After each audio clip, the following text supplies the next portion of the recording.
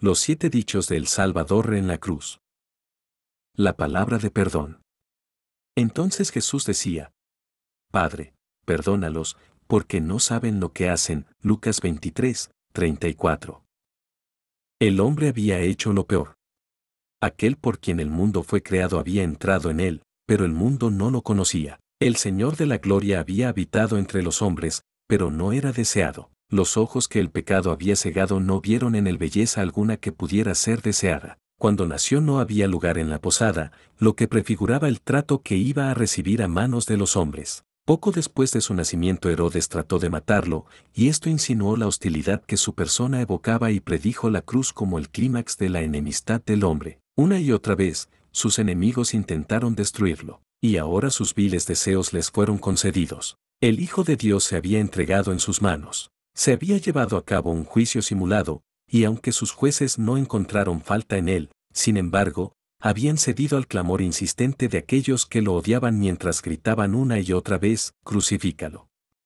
El acto atroz se había llevado a cabo. Ninguna muerte común sería suficiente para sus implacables enemigos. Se decidió una muerte de intenso sufrimiento y vergüenza. Una cruz había sido asegurada, el Salvador había sido clavado en ella, y allí estaba colgado, silencioso. Pero de pronto se ve que sus pálidos labios se mueven, está clamando piedad. No. ¿Qué, entonces? ¿Está pronunciando maldición sobre sus crucificadores? No. Está orando, orando por sus enemigos, entonces Jesús dijo, Padre, perdónalos, porque no saben lo que hacen. Lucas 23, 34. Esta primera de las siete palabras de la cruz de nuestro Señor lo presenta en actitud de oración. Qué significativo, qué instructivo. Su ministerio público había comenzado con oración, Lucas 3, 21, y aquí lo vemos cerrarse en oración. Seguramente nos ha dejado un ejemplo. Esas manos ya no pueden ministrar a los enfermos, porque están clavadas en la cruz, esos pies ya no pueden llevarlo en misiones de misericordia, porque están atados al árbol cruel, ya no puede dedicarse a instruir a los apóstoles, porque ellos lo han abandonado y han huido. ¿En qué se ocupa entonces? En el ministerio de la oración. ¿Qué lección para nosotros? Quizás estas líneas las lean algunos que por razón de la edad y la enfermedad ya no pueden trabajar activamente en la viña del Señor. Es posible que en tiempos pasados fueras maestro, predicador, maestro de escuela dominical, repartidor de folletos, pero ahora estás postrado en cama. Sí, pero todavía estás aquí en la tierra. Quién sabe si Dios te deja aquí unos días más para dedicarte al ministerio de la oración, y tal vez logres más con esto que con todo tu servicio activo pasado. Si te sientes tentado a menospreciar tal ministerio, recuerda a tu Salvador. Él oró, oró por otros, oró por los pecadores, incluso en sus últimas horas. Al orar por sus enemigos, Cristo no solo nos dio un ejemplo perfecto de cómo debemos tratar a quienes nos hacen daño y nos odian, sino que también nos enseñó a no considerar nunca a nadie como fuera del alcance de la oración. Si Cristo oró por sus asesinos, seguramente tenemos aliento para orar ahora por el peor de los pecadores. Lector cristiano, nunca pierdas la esperanza. ¿Te parece una pérdida de tiempo seguir orando por ese hombre, esa mujer, ese hijo desobediente tuyo? Su caso parece volverse más desesperado cada día. ¿Te parece que se han ido más allá del alcance de la misericordia divina?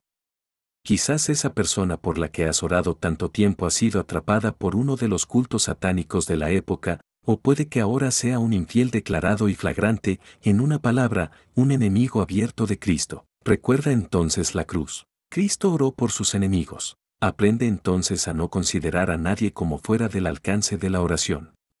Otro pensamiento sobre esta oración de Cristo. Se nos muestra aquí la eficacia de la oración. Esta intercesión cruzada de Cristo por sus enemigos encontró una respuesta marcada y definida. La respuesta se ve en la conversión de las tres mil almas en el día de Pentecostés. Paso esta conclusión en Hechos 3:17 donde el apóstol Pedro dice, Ahora bien, hermanos, sé que por ignorancia lo habéis hecho, como también vuestros gobernantes. Cabe notar que Pedro usó la palabra ignorancia, que corresponde con la expresión de nuestro Señor, no saben lo que hacen. Aquí, entonces, está la explicación divina de los tres mil convertidos en un solo sermón. No fue la elocuencia de Pedro la causa, sino la oración del Salvador. Y, lector cristiano, lo mismo es cierto en cuanto a nosotros. Cristo oró por ti y por mí mucho antes de que creyéramos en Él. Busca la prueba en Juan 17, 20. Mas no ruego solamente por estos, los apóstoles, sino también por los que han de creer en mí por la palabra de ellos. Juan 17, 20. Una vez más, aprovechemos el ejemplo perfecto. Intercedamos también nosotros por los enemigos de Dios, y si oramos con fe, también oraremos eficazmente por la salvación de los pecadores perdidos. Pasemos ahora directamente a nuestro texto. Aquí vemos el cumplimiento de la palabra profética. Entonces Jesús decía, Padre, perdónalos, porque no saben lo que hacen. ¿Cuánto los hizo saber Dios de antemano de lo que sucedería en aquel día de los días? ¿Qué cuadro tan completo nos proporcionó el Espíritu Santo de la pasión de nuestro Señor con todas las circunstancias que la acompañaron? Entre otras cosas, se había predicho que el Salvador intercedería por los transgresores, Isaías 53, 12. Esto no tenía referencia al ministerio presente de Cristo a la diestra de Dios. Es cierto que puede también salvar perpetuamente a los que por él se acercan a Dios, viviendo siempre para interceder por ellos, Hebreos 7, 25, pero esto habla de lo que está haciendo ahora por aquellos que han creído en Él, mientras que Isaías 53, 12 hacía referencia a su acto de gracia en el momento de su crucifixión. Observe con que se vincula allí su intercesión por los transgresores, y fue contado con los transgresores, habiendo él llevado el pecado de muchos e intercedido por los transgresores. Que Cristo interceda por sus enemigos fue uno de los puntos de la maravillosa profecía que se encuentra en Isaías 53. Este capítulo nos dice al menos diez cosas acerca de la humillación y el sufrimiento del Redentor. Declaró que sería despreciado y desechado entre los hombres, que sería varón de dolores y experimentado en quebranto, que sería herido, magullado y castigado, que sería conducido, sin resistencia, al matadero, que permanecería mudo ante sus trasquiladores, que no solo sufriría a manos del hombre sino que también sería magullado por el Señor, que derramaría su alma hasta la muerte, que sería enterrado en la tumba de un hombre rico, y luego se agregó, que sería contado entre los transgresores, y, finalmente, que intercedería por los transgresores. Aquí entonces estaba la profecía, e intercedió por los transgresores, allí se cumplió lo dicho, Padre, perdónalos, porque no saben lo que hacen, pensó en sus asesinos, suplicó por quienes lo crucificaron, intercedió por el perdón de ellos. Aquí vemos a Cristo identificado con su pueblo, entonces Jesús dijo, Padre, perdónalos, porque no saben lo que hacen. Padre, perdónalos. En ninguna ocasión anterior Cristo hizo tal petición al Padre. Nunca antes había invocado el perdón del Padre para otros. Hasta ahora se perdonó a sí mismo. Al hombre enfermo de parálisis le había dicho, Ten ánimo, hijo, tus pecados te son perdonados. Mateo 9, 2. A la mujer que le lavó los pies con sus lágrimas en la casa de Simón, le dijo, tus pecados te son perdonados. Lucas 7, 48. ¿Por qué entonces debía pedirle ahora al Padre que lo perdonara, en lugar de pronunciar directamente el perdón él mismo? El perdón de los pecados es una prerrogativa divina. Los escribas judíos tenían razón cuando decían, ¿quién puede perdonar pecados, sino solo Dios? Marcos 2, 7. Pero tú dices, Cristo era Dios, verdaderamente, pero también hombre, el Dios hombre. Él era el Hijo de Dios que se había convertido en el Hijo del Hombre con el propósito expreso de ofrecerse a sí mismo como sacrificio por el pecado. Y cuando el Señor Jesús clamó, Padre, perdónalos, estaba en la cruz, y allí no podía ejercer sus prerrogativas divinas. Observa con cuidado sus propias palabras, y entonces contempla la maravillosa exactitud de las Escrituras. Él había dicho, el Hijo del Hombre tiene poder en la tierra para perdonar pecados, Mateo 9, 6. Pero ya no estaba en la tierra, había sido levantado de la tierra, Juan 12, 32. Además, en la cruz estaba actuando como nuestro sustituto, el justo estaba a punto de morir por los injustos. Por eso, colgado allí como nuestro representante, ya no estaba en el lugar de autoridad donde podía ejercer sus propias prerrogativas divinas, por lo que toma la posición de un suplicante ante el Padre. Así decimos que cuando el bendito Señor Jesús clamó, Padre, perdónalos, lo vemos absolutamente identificado con su pueblo. Ya no estaba en la posición, en la tierra, donde tenía el poder o el derecho de perdonar pecados, en cambio, intercede por los pecadores, como debemos hacerlo nosotros. Aquí vemos la estimación divina del pecado y su consiguiente culpa. Entonces Jesús dijo, Padre, perdónalos, porque no saben lo que hacen. Bajo la economía levítica, Dios requería que se hiciera expiación por los pecados de ignorancia. Si una persona comete falta y peca por hierro en las cosas sagradas de Jehová, traerá a Jehová por su falta un carnero sin defecto de los rebaños, conforme a tu estimación en ciclos de plata, al ciclo del santuario, como ofrenda por la culpa, y resarcirá el daño que hizo en las cosas sagradas, y añadirá a ello la quinta parte, y la dará al sacerdote, y el sacerdote hará expiación por él con el carnero de la ofrenda por la culpa, y le será perdonado. Levítico 5, 15, 16. Y nuevamente leemos. Y si hubierais cerrado, y no hubierais puesto por obra todos estos mandamientos que Jehová había dicho a Moisés, y todas las cosas que Jehová os había mandado por medio de Moisés, desde el día que Jehová mandó a Moisés, y en adelante por vuestras generaciones, entonces, si algo fuere cometido por hierro sin el conocimiento de la congregación, toda la congregación ofrecerá un becerro en holocausto, en olor grato a Jehová, con su ofrenda y su libación conforme a la ley, y un macho cabrío en expiación. Y el sacerdote hará expiación por toda la congregación de los hijos de Israel, y le será perdonado, porque es hierro, y traerán su ofrenda, sacrificio por hierro, y su expiación delante de Jehová, por su hierro, números 15, 22, 25. Es en vista de escrituras como estas que encontramos a David orando, límpiame de los pecados ocultos, Salmo 19, 12.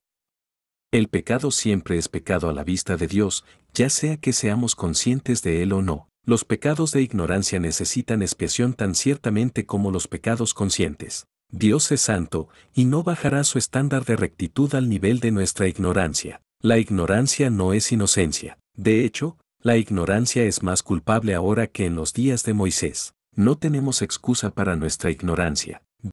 Dios ha revelado clara y completamente su voluntad. La Biblia está en nuestras manos y no podemos alegar ignorancia de su contenido excepto para condenar nuestra pereza. Dios ha hablado y por su palabra seremos juzgados. Y, sin embargo, el hecho es que somos ignorantes de muchas cosas y la culpa y la culpa son nuestras. Y esto no minimiza la enormidad de nuestra culpa. Los pecados de ignorancia necesitan el perdón divino como lo muestra claramente la oración de nuestro Señor aquí. Aprendan entonces cuán alta es la norma de Dios, cuán grande es nuestra necesidad, y alábenlo por una expiación de infinita suficiencia, que limpia de todo pecado. Aquí vemos la ceguera del corazón humano. Entonces Jesús dijo, Padre, perdónalos, porque no saben lo que hacen. No saben lo que hacen. Esto no significa que los enemigos de Cristo ignoraran el hecho de su crucifixión. Sabían muy bien que habían gritado, crucifícalo. Sabían muy bien que su vil petición les había sido concedida por Pilato. Sabían muy bien que había sido clavado en el madero porque eran testigos oculares del crimen. ¿Qué quiso decir entonces nuestro Señor cuando dijo, no saben lo que hacen? Él quiso decir que ignoraban la enormidad de su crimen. No sabían que era el Señor de gloria a quien estaban crucificando. El énfasis no está en no saben, sino en no saben lo que hacen.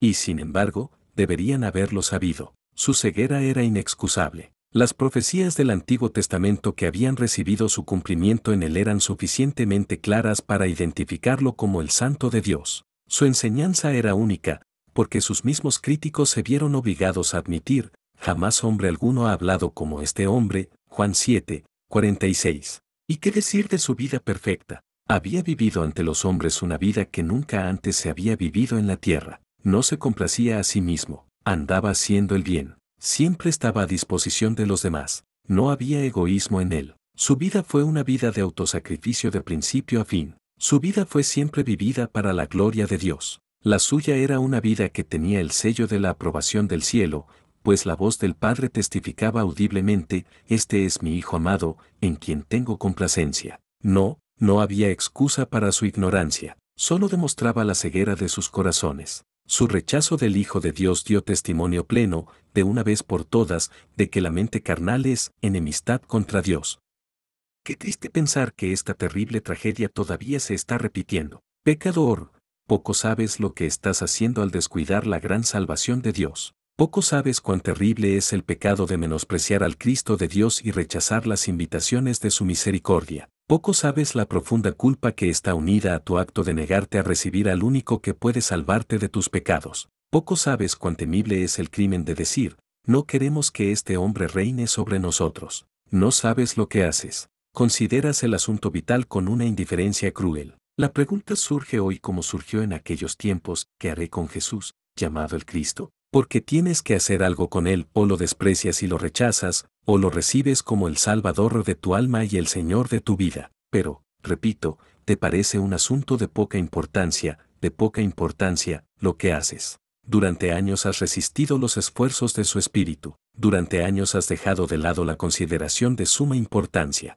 Durante años has endurecido tu corazón contra él, has cerrado tus oídos a sus súplicas y has cerrado tus ojos a su incomparable belleza. Ah, no sabes lo que haces. Estás ciego a tu locura, ciego a tu terrible pecado. Sin embargo, no eres inexcusable. Puedes ser salvo ahora si lo deseas. Cree en el Señor Jesucristo, y serás salvo. O, acércate al Salvador ahora y di como uno de los antiguos, Señor, que pueda recibir la vista.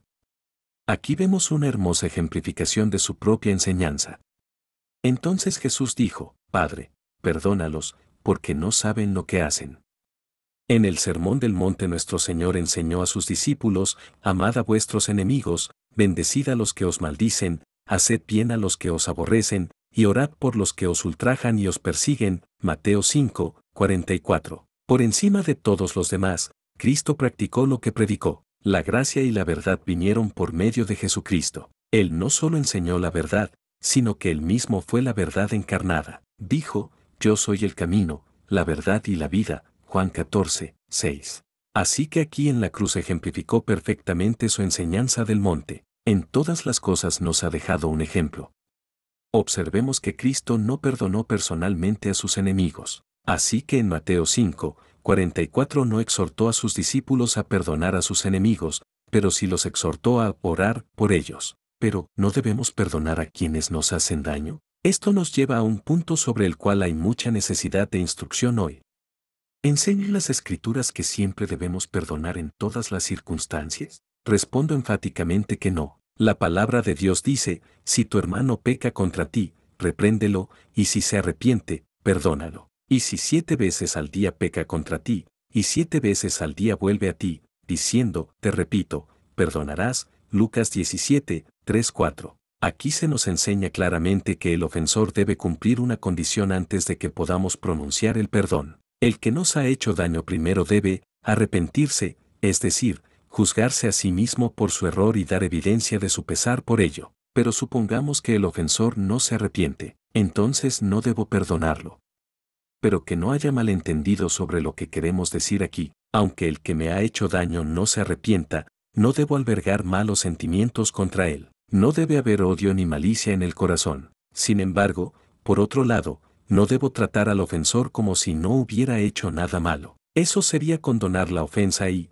por lo tanto, no cumpliría con los requisitos de la rectitud, y esto es lo que el creyente debe hacer siempre. ¿Dios perdona alguna vez cuando no haya arrepentimiento? No, porque la Escritura declara, si confesamos nuestros pecados, Él es fiel y justo para perdonar nuestros pecados, y limpiarnos de toda maldad. Primera epístola de Juan 1, 9. Una cosa más, si alguien me ha hecho daño y no se ha arrepentido, mientras que no puedo perdonarlo y tratarlo como si no me hubiera ofendido, no solo no debo guardar rencor en mi corazón contra él, sino que también debo orar por él. Aquí está el valor del ejemplo perfecto de Cristo. Si no podemos perdonar, podemos orar para que Dios lo perdone. Aquí vemos la gran y primaria necesidad del hombre. Entonces Jesús dijo, Padre, perdónalos, porque no saben lo que hacen.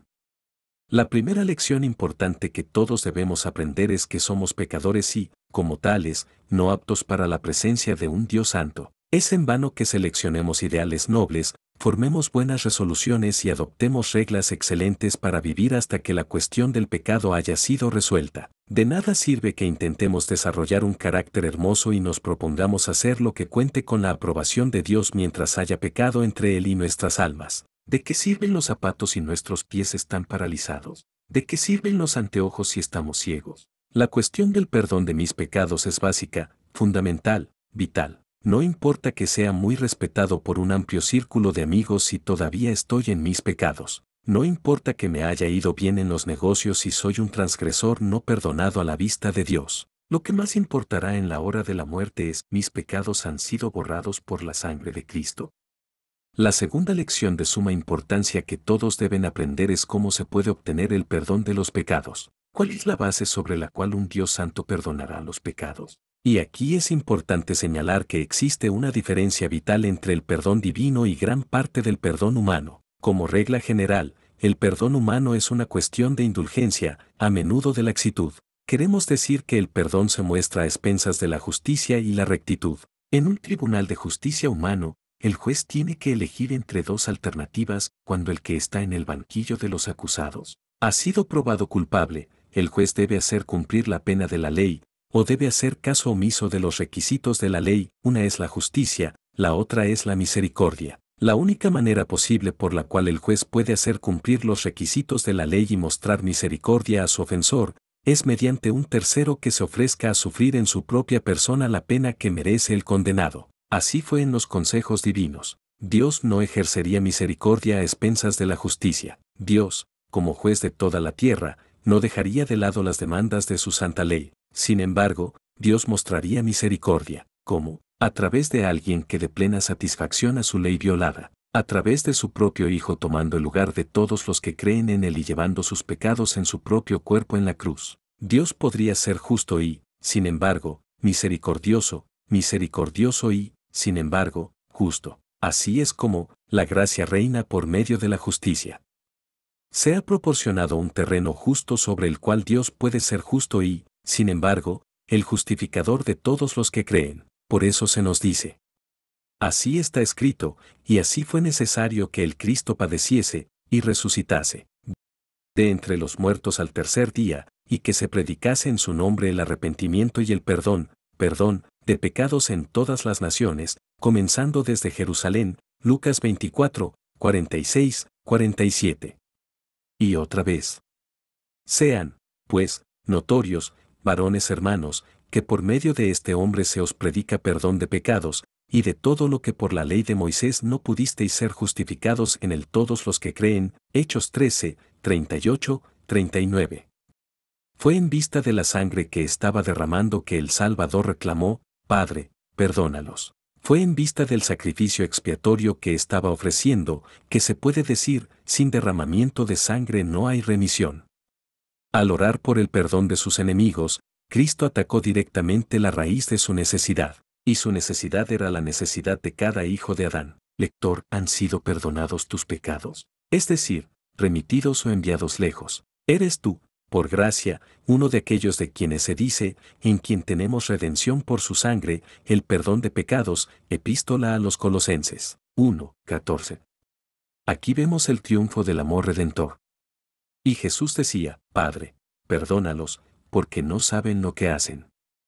Fíjense bien en la palabra con la que se abre nuestro texto, entonces. El versículo que lo precede inmediatamente dice así, y cuando llegaron al lugar que se llama Calvario, allí lo crucificaron, y a los malhechores, uno a la derecha y otro a la izquierda. Entonces, dijo Jesús, Padre, perdónalos. Entonces, cuando el hombre había hecho lo peor que podía, entonces, cuando la vileza del corazón humano se mostró en la diablura climática, entonces, cuando con manos malvadas la criatura se había atrevido a crucificar al Señor de la Gloria, Él podría haber proferido terribles maldiciones sobre ellos. Podría haber soltado los rayos de la ira justa y matarlos. Podría haber hecho que la tierra abriera su boca para que descendieran vivos al abismo, pero no, aunque sometido a una vergüenza indescriptible, aunque sufriendo un dolor insoportable, aunque despreciado, rechazado, odiado, sin embargo, Él clama, Padre, perdónalos. Ese fue el triunfo del amor redentor. El amor es sufrido, es benigno, todo lo sufre, todo lo soporta. Primera epístola a los Corintios. 13. Así se demostró en la cruz.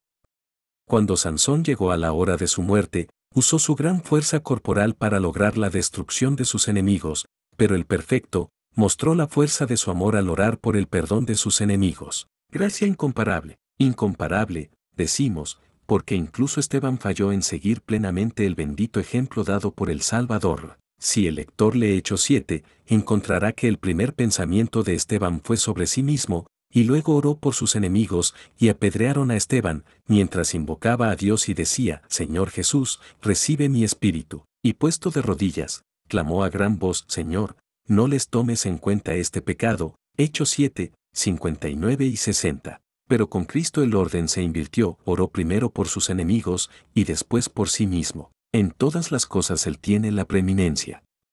Y ahora una palabra final de aplicación y exhortación. Si este capítulo hubiera sido leído por una persona no salva, le pediríamos con seriedad que evalúe bien la siguiente oración, cuán terrible debe ser oponerse a Cristo y su verdad a sabiendas. Aquellos que crucificaron al Salvador no sabían lo que hacían. Pero, mi lector, hay un sentido muy real y solemne en el que esto no es cierto en tu caso. Sabéis que debéis recibir a Cristo como vuestro Salvador, que debéis coronarlo como Señor de vuestra vida, que debéis hacer de él vuestra primera y última preocupación el agradarle y glorificarle. Tened cuidado, por tanto, vuestro peligro es grande. Si os apartáis deliberadamente de él, os apartáis del único que os puede salvar de vuestros pecados, y está escrito, porque si pecaremos voluntariamente después de haber recibido el conocimiento de la verdad, ya no queda más sacrificio por los pecados, sino una horrenda expectación de juicio, y de hervor de fuego que ha de devorar a los adversarios. Hebreos 10,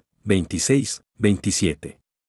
Solo nos queda añadir una palabra sobre la bendita plenitud del perdón divino. Muchos del pueblo de Dios están inquietos y preocupados por este punto. Ellos entienden que todos los pecados que habían cometido antes de recibir a Cristo como su Salvador han sido perdonados, pero muchas veces no tienen claro los pecados que cometen después de haber nacido de nuevo. Muchos suponen que es posible que ellos perdonen con sus pecados el perdón que Dios les ha otorgado. Suponen que la sangre de Cristo se ocupó solamente de su pasado y que en lo que respecta al presente y al futuro, ellos tienen que encargarse de eso por sí mismos. Pero, ¿de qué valor sería un perdón que me pudiera ser quitado en cualquier momento? Seguramente no puede haber una paz estable cuando mi aceptación por parte de Dios y mi entrada al cielo dependen de mi apego a Cristo o de mi obediencia y fidelidad.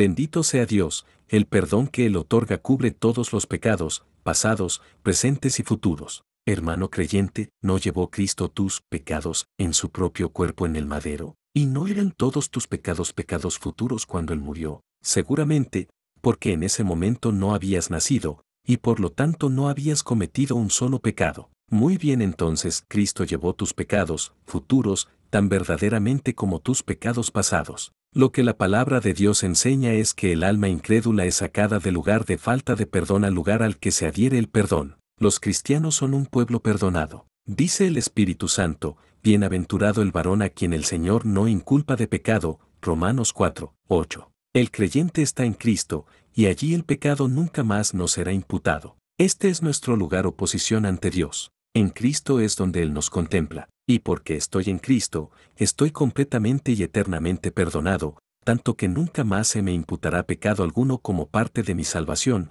aunque permaneciera en la tierra cien años. Estoy fuera de ese lugar para siempre. Escuché el testimonio de las Escrituras, y a vosotros, estando muertos en vuestros pecados y en la incircuncisión de vuestra carne, os dio vida juntamente con él, Cristo, perdonándoos todos los pecados. Colosenses 2, 13. Observe las dos cosas que aquí están unidas, y lo que Dios ha unido, no lo separe el hombre, mi unión con un Cristo resucitado está conectada con mi perdón. Si entonces mi vida está escondida con Cristo en Dios, Colosenses 3, 3, entonces estoy fuera para siempre del lugar donde se aplica la imputación del pecado. Por eso está escrito, ahora, pues, ninguna condenación hay para los que están en Cristo Jesús, Romanos 8, 1. ¿Cómo podría haberla si todas las transgresiones han sido perdonadas? Nadie puede acusar de nada a los elegidos de Dios. Romanos 8, 33. Lector cristiano, únete al escritor para alabar a Dios porque somos eternamente perdonados de todo.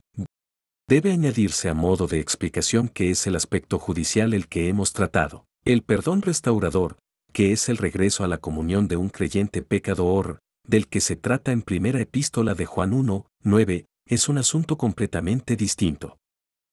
Los siete dichos del Salvador en la cruz. La palabra de perdón. Por Arthur Balkington, Pink.